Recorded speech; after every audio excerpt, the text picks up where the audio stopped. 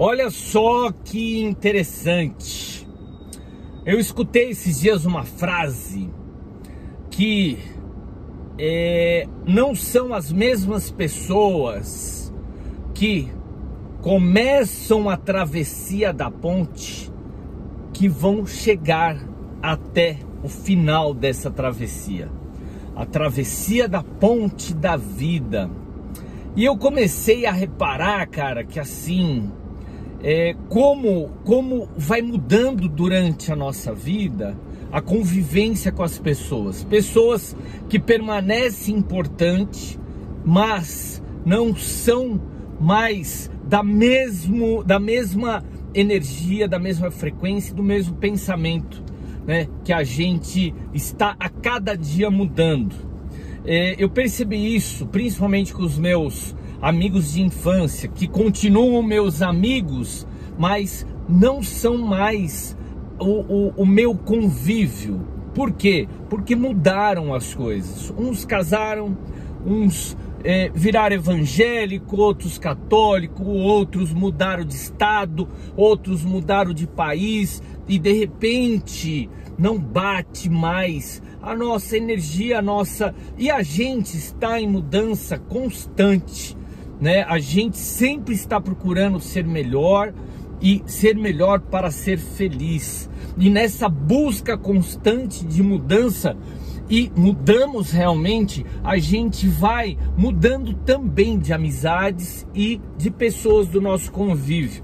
E às vezes é doloroso, às vezes é, causa um pouco de confusão mental. Porque, pô, eu tenho o meu irmão, eu tenho meu primo, tenho meu sobrinho, tenho minha irmã, eu tenho. E de repente eles, eles continuam sendo primos, sobrinhos e irmã, mas mudou, porque você mudou a sua frequência de pensamento, você mudou o seu estilo de vida. Você e, e aí essas pessoas continuam sendo importantes, mas não são é mais do seu convívio, não, não bate mais as ideias, não bate mais a sua filosofia de vida, seu conceito, o, os seus valores que você tem. E eu percebi que assim, a gente muitas vezes dá murro em ponta de faca, porque a gente quer esse convívio e acaba até estragando, né? Então, você promove festas, promove encontros e quer todo mundo junto e de repente causa um mal-estar e você quer ajudar e você quer é, é, e causa mal-estar. Por quê?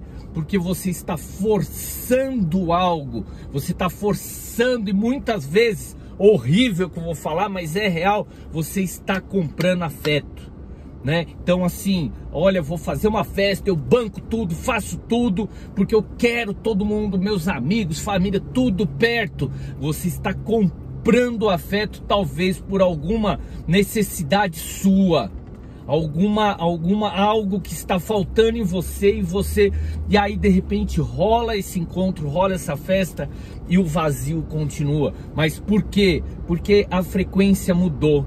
E quando você descobre isso, você começa a atrair pessoas da mesma frequência. E eu tenho é, percebido muito isso, que assim, eu, me, eu mudei, eu sempre gostei de esporte, mas eu nunca fui tão tão dedicado como estou hoje. Há mais de cinco anos eu pratico corrida, bicicleta, musculação. Estou indo aí para minha primeira maratona e com isso eu tenho um estilo de vida diferente né? Eu acordo quatro e meia da manhã, eu vou treinar, eu tenho uma alimentação, eu não, não, não, não tô bebendo como eu bebia, então saia com os amigos, encher a cara hoje não, é um copinho só porque no outro dia eu tenho treino. E para muitas pessoas que eu comento sobre isso, pessoas que têm hábitos é, é, diferentes do meu, que gostam de acordar tarde, gostam de comer fritura, gostam de beber, gostam e não tem nada de errado nisso, são pessoas que não vão entender meu, os meus hábitos, o meu novo estilo de vida. Quando eu fecho grandes negócios, né, como abrir uma loja nova, eu não consigo mais repartir com pessoas que não têm o mesmo pensamento empresarial, porque se eu falar, vai falar, olha, ele como ficou metido, tá jogando na minha cara, ah, tá fazendo loucura, tá dando um passo maior que a perna. Mas por que que eles falam isso? Porque não está na mesma sintonia. Então, você quer emagrecer, não adianta você é, falar com alguém, pedir conselho com alguém que tem um hábito de, de, de comer os McDonald's, de comer, de tomar refrigerante. Esse cara vai falar: Meu, você tá louco, né? Larga pra lá. Olha, é, eu, eu eu estou começando um novo relacionamento, um amor. Aí você comenta com alguém que é frustrado na vida, que nunca teve amor, que foi traído, que, que nu, nunca teve um, um, amor correspondido, o que, que essa pessoa vai, vai falar para você? Nossa, né, que nada, não dá valor não, o negócio é ser solteiro, vamos pras, pras boates, vamos pras baladas, o negócio é ficar com todo mundo, né? Claro, não é a sintonia amor que aquela pessoa está. Então a gente nessa mudança de vida, nessa mudança de sintonia e cada vez a gente vai chegando na sintonia eu mesmo, nós mesmos. Quando você trabalha o autoconhecimento, você é, alinha uma sintonia de prosperidade. Pô, sou próspero. Só que se eu falo com uma pessoa que tem a energia da escassez, ela vai me criticar. Entendeu? Ah, olha, o dinheiro tá subindo na cabeça dessa pessoa. Olha, tá dando um passo maior que a perna. Olha, ele tá ficando arrogante. Ele tá, mas é claro, porque a energia da pessoa é escassez, a minha é abundante. E eu vou falar, eu vou ter um convívio de pessoas abundantes.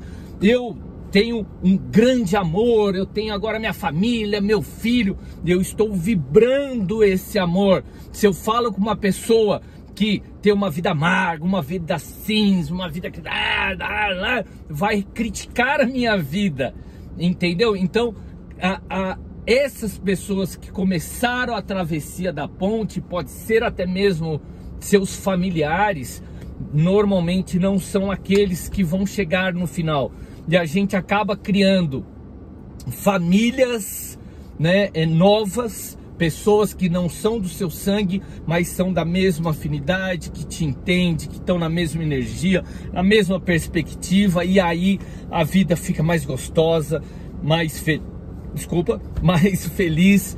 É, mas eu sei que é doloroso, eu sei que é dolorido, porque a gente quer manter as pessoas próximas, né? Ah, mas ele é meu amigo de infância, então eu quero ele aqui. Mas puta, não combina mais. Ah, mas ele é meu sobrinho, minha sobrinha, minha, minha irmã, meu primo. Ah, eu quero manter porque é do meu sangue. Eu tenho, eu tenho que ter uma família, eu tenho que ter. Não, cara. Você tem que ter uma vida feliz e as coisas mudam.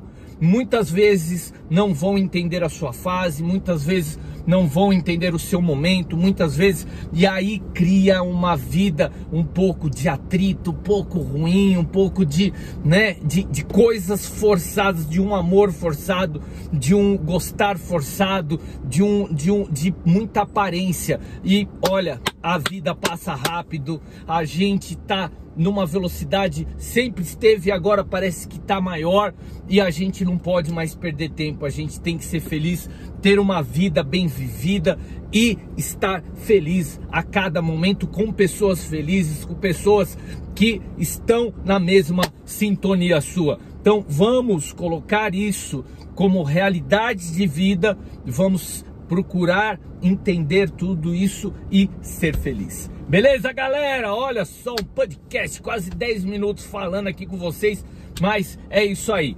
Um grande dia com muito axé, com muita força dos nosso casal de Dendê, que traga muita energia, força, justiça divina e muita felicidade.